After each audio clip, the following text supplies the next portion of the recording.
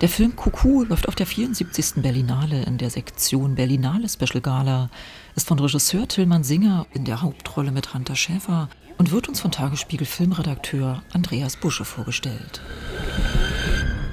Kuku hat alle Erwartungen voll erfüllt. Ein sehr merkwürdiger Horrorfilm, der in den bayerischen Alpen spielt, in einem Ferienressort, in das die 17-jährige Gretchen, die eben Schäfer spielt, mit ihrer Stieffamilie, ihrem Vater, Stiefmutter und ihrer Stiefschwester zum Urlaub aufschlägt. Und im Grunde genommen total genervt ist. Sie spielt immer so einen sehr renitenten, genervten Teenager, der von der Situation überfordert ist und in dieses Luxusressort kommt, was auch sofort weird ist. Und da passieren auch sehr schnell ziemlich merkwürdige Sachen. Es entstehen Zeitloops, die kleine Schwester von ihr, die Stiefschwester, hat äh, epileptische Anfälle. Die Menschen benehmen sich alle merkwürdig. Und äh, Gretchen äh, entwickelt sich dadurch quasi zu so einer Art Actionheldin, die am Ende Blut verschmiert, wie äh, die Ripley in den Alien-Filmen oder auch Sarah Connor in Terminator sozusagen ihre kleine Schwester verteidigen muss gegen einen Mad Scientist, der im, im bayerischen Wald so eine Art neue Spezies entwickelt aus einem mythischen Wesen, das im Wald seit Jahrhunderten haust. Also wirklich super merkwürdiger Film.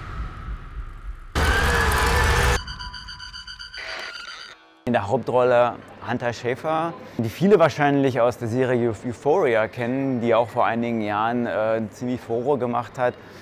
Das ist jetzt äh, Schäfers erste Kinorolle gewesen, obwohl sie eigentlich schon vor ein paar Monaten zum ersten Mal im Kino zu sehen war, in dem Tribute von Panem Prequel, das gelaufen ist. Ich hatte mit, mit Hunter Schäfer auch kurz gesprochen und sie auch gefragt, ähm, wie sie ihre Filme sich jetzt planen zu wählen. Das ist jetzt ihr erster Spielfilm gewesen nach Euphoria und alle sehen eine sehr vielversprechende Karriere für sie vor sich und ich fand es interessant, dass sie diesen Film jetzt, eigentlich einen kleinen Film, als ihren ersten Kinofilm gewählt hat. Und sie hat eben auch gesagt, dass sie nach interessanten Rollen sucht. Sie hat überhaupt keine Lust, in diese Schauspielroutinen und diese Karrierepläne zu fallen. Und äh, das war das Drehbuch, was sie von denen, die sie bekommen hat, was sie sofort angesprochen hat.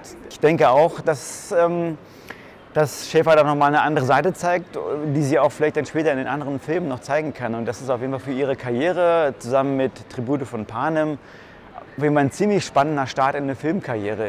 Der Film kommt auch in die deutschen Kinos im September und ich denke auch mal, der wird äh, doch nicht nur wegen des deutschen Regisseurs, sondern auch wegen Schäfer ziemlich viele Fans finden.